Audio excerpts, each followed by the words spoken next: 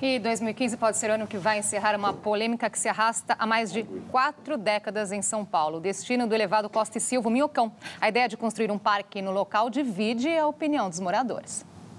A Câmara de Vereadores de São Paulo vai começar 2015 com uma verdadeira missão: votar o projeto que desativa o elevado Costa e Silva.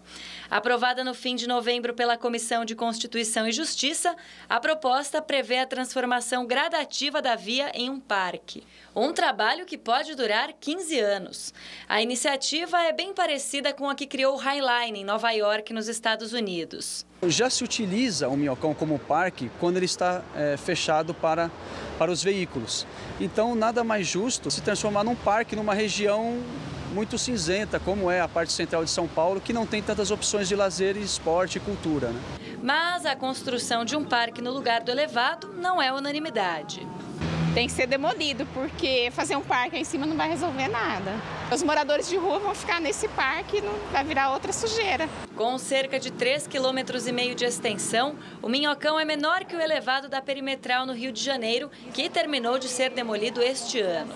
Apesar de defender o fim do viaduto, o movimento Santa Cecília Sem Minhocão teme os impactos que uma implosão poderia causar na área.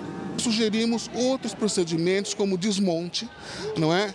É claro que algum pouquinho de, de, de demolição entra nesse processo, mas é desmontar é, e, e, fazendo isso quarteirão por quarteirão, para não ter um impacto e tal, e não causar transtorno. Enquanto não há definição sobre o futuro do elevado Costa e Silva, a Prefeitura de São Paulo fará algumas intervenções na região. No início do ano, será construída uma ciclovia de 5 quilômetros embaixo do Minhocão. Também está prevista a implantação de espaços verdes e a troca da iluminação por lâmpadas de LED para revitalizar a área.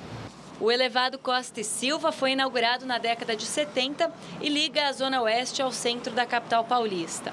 Hoje, cerca de 6 mil carros passam por dia pelo elevado.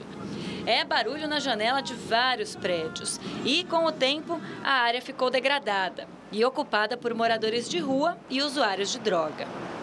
Opiniões bem divididas aí, né? Derrubar de vez, fazer um parque. Qual que é a opinião de vocês? Sobre Olha, mas eu acho que o curioso nesse debate é que tempos atrás se discutia se tinha que desativar ou não. Então a divisão estava entre aqueles que achavam que era inviável desativar. Agora o debate mudou entre que vai desativar, acho que vai. A grande questão é se demole ou não demole, né? Então é interessante como evoluiu. É, e acho que é uma coisa muito saudável, né? Se discutir é, é, durante e, e, e ter um, de, um, debate público e amadurecer o debate com relação à gestão pública, à gestão urbana, né? Da cidade. É, eu acho difícil uma manutenção dessa, de todo esse elefante aí é, de maneira realmente, vamos dizer, a recuperar é, todo o mal que o Miocão fez para do ponto de vista é, da, da, de quem vive naquele espaço. Então, a, me parece que não faz muito sentido, mesmo um parque suspenso ali, é, haja capacidade de, de, de manutenção para realmente deixar uma coisa que é, gere um, um, movimento favorável para aquela, aquela região. A, a, meu juízo, parece que é mais fácil demolir e realmente revitalizar a partir é, de baixo. Agora, a grande questão também, eu não, não saberia falar de custos, quanto significa mobilizar para uma, a cidade para demolir um, um aparato desse tamanho. Então, esse essa é, custo-benefício, eu não, não, precisaria saber um pouco de números para poder opinar melhor. Aline.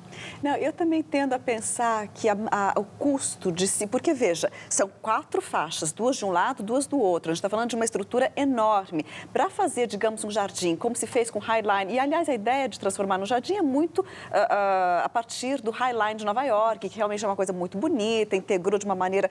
Agora, o Highline é uma estrada de ferro, é, é estreita, é pequeno, o minhocão é algo enorme. Então você vai ter que investir num, num, num, paisagismo imenso, você vai ter que ter segurança, vai ter que, ou seja, a manutenção é realmente muito custosa. E o que, que no que, que se vai realmente aproveitar essa, esse espaço todo? Uh, ciclismo excelente, passeios ótimo, mas será que é viável, não é? E depois, a parte de baixo do minhocão também a gente vê uma degradação de goteiras, não entra luz, não penetra luz. E alguns parques até da região talvez pudessem voltar voltar a florescer, uma vez que essa estrutura maciça né, fosse retirada do, do local.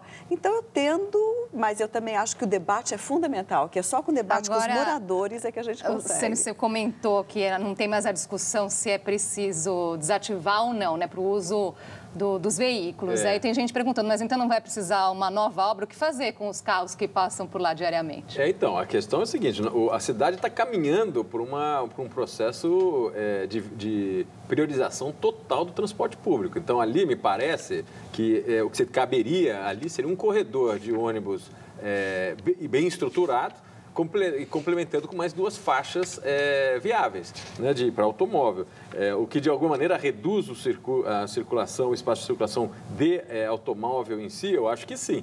Mas o que a compensação acho que é, é que o caminho que a cidade tem que ir, não tem, não dá para você arrumar isso aí sem, sem alguém pagar, vai ter, tá certo?